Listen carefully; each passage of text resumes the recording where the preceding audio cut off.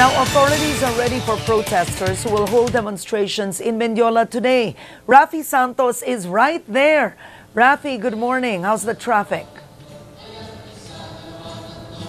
Yes, good morning, Karen. As you can see right behind me, there are still no protesters here in Mendiola Bridge at the moment, but police forces are at the ready for their expected arrival in the coming hours. Police are expecting around 12,000 people to troop here in to Mendiola Bridge in the coming hours, starting at 9 a.m. this morning until after lunch, where the bulk of the protesters are expected to arrive. The police say they will implement a maximum tolerance policy uh, for the rallies and protesters that will be trooping to Mendiola today. And as you can see, the picket line is just right behind me, and that wall of barbed wire is what stands between the protesters and the police who are inside that wall. Now, the police are saying that they have adequate uh, number of personnel to handle any kinds of emergencies. And aside from that, Karen, they also have emergency vehicles such as fire trucks and ambulances if they ever need uh, to uh, go and uh, take care of some uh, emergencies here in uh, Mendiola. Uh, police have uh, reminded the protesters to have uh, peaceful demonstrations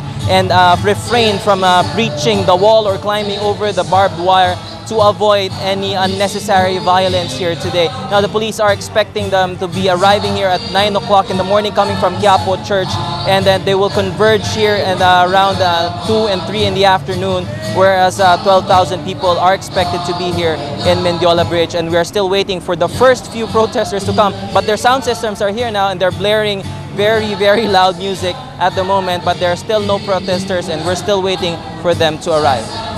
That is the latest here from Mendiola Bridge. Back to you, Karen.